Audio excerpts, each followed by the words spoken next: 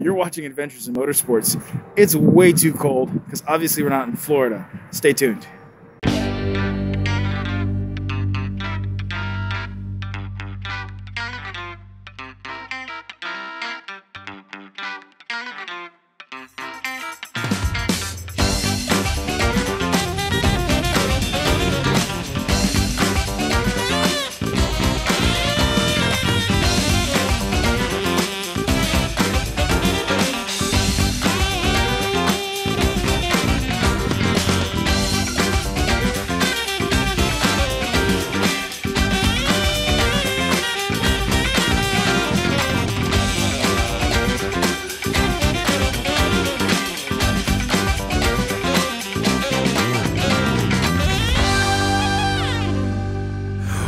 We're at the North American International Auto Show uh, here in Detroit. Uh, it's the reason why we're here in the Great White North. Uh, uh, I'm here for work, and I work in live event production. Uh, I'm working the Infiniti booth this week. Being a video engineer, my responsibilities include setting up the cameras and the video switching equipment, and basically have a mobile TV show is what we're setting up. Because I had a little bit of downtime during the press day that we're here for, uh, I figured I'd go out and show, show you guys some of my favorite cars here on the show floor. So let's go uh, take a look around.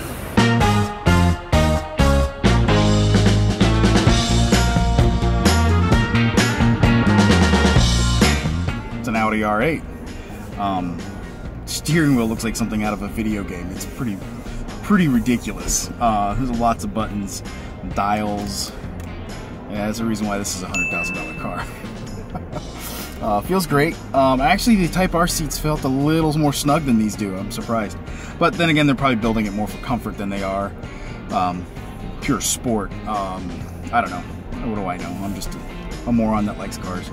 So, in case you're ever wondering, in an R8, that is tether, uh, top tether for your baby seat. So if you're taking the kiddo out for a spirited drive, well, Audi's got you covered.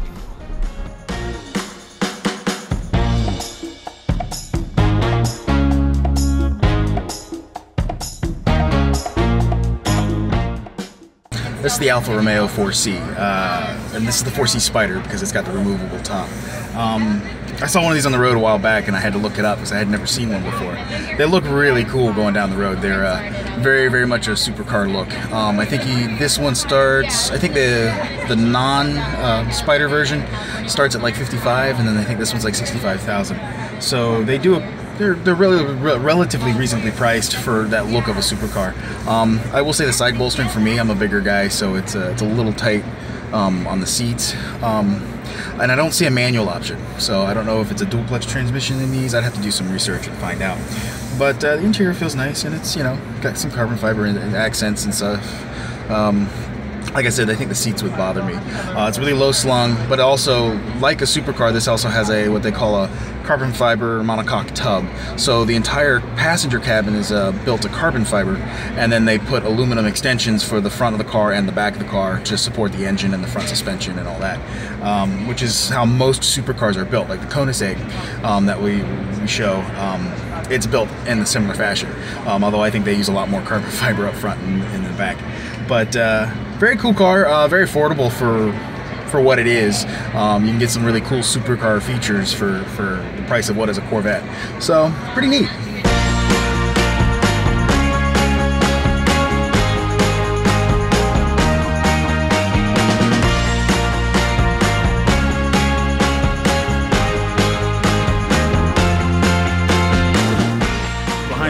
The uh, Koenigsegg uh, Agera RS. That's the one that made the world uh, production car speed record. Uh, I think the average was 280 miles an hour.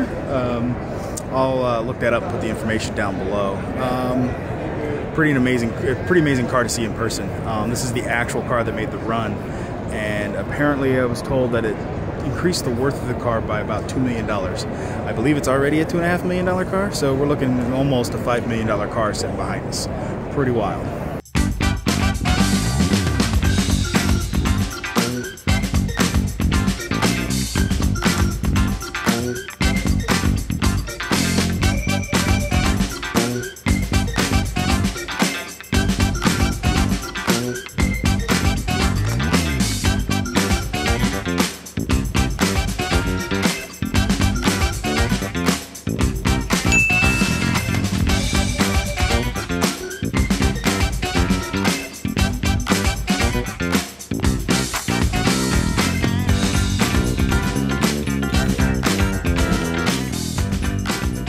Cool thing is, is the reflections because it's all done via projection.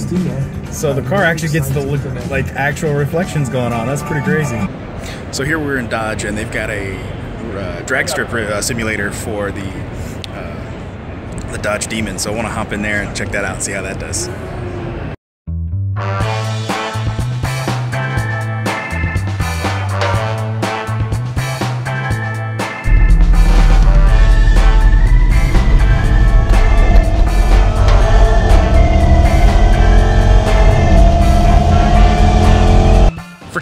Control. I just wasn't thinking. Anyway, so that was cool. That was a lot of fun. Um, I didn't actually see what my quarter mile time was. Oh, I'm a lame. Uh, but no, that's cool. See, they got some cool stuff to do here.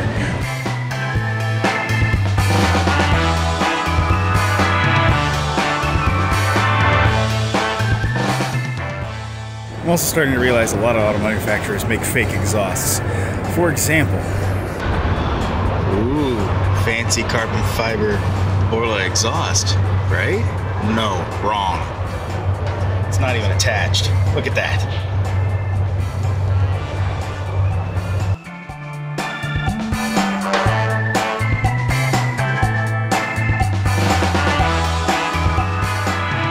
Well, the Camaro is pretty cool. Um, this one isn't the, the most special one they've got on the floor.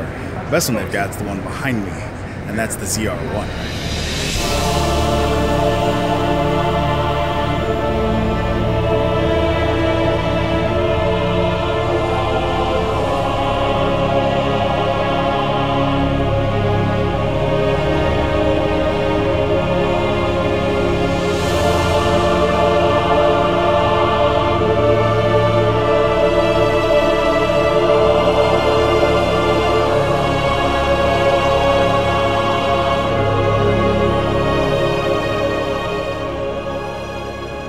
Sure if I'd be able to sit in this thing. So I just, I don't know, just sat up here. It was open and I walked right in. Um, yeah, this car's cool. I, I think this car is awesome. Um, it is a manual, so it's got the right amount of pedals, which I which I think is awesome. Um, the seats are very comfortable. I like the side bolstering on these, um, and the uh, the bottom bolstering seems to be uh, to fit well. Um, I'll scoot the seat up a little bit. I want to see what the clutch pedal feels like, and then I'll check the shifter on this one. So Alcantara uh, shifter, steering wheel's wrapped in Alcantara. Alcantara, if you don't know, is just a certain type of fabric. It's like a suede fabric. It's pretty wild. Um, it feels really nice. Um, yep, the seats are Alcantara. They hold the Alcantara holds better than leather, especially for a racing application or a, or you know a high performance style uh, application.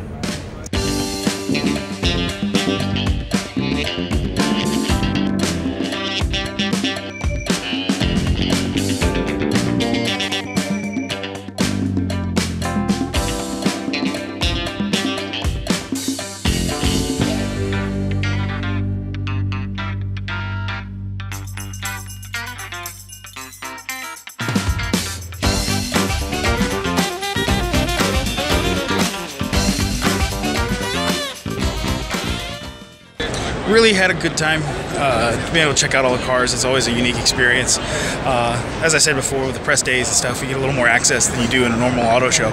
Um, I think my favorite car to get into today was probably, well, the ZR1 Corvette was pretty cool. I was glad to get into that one and kind of feel that one out.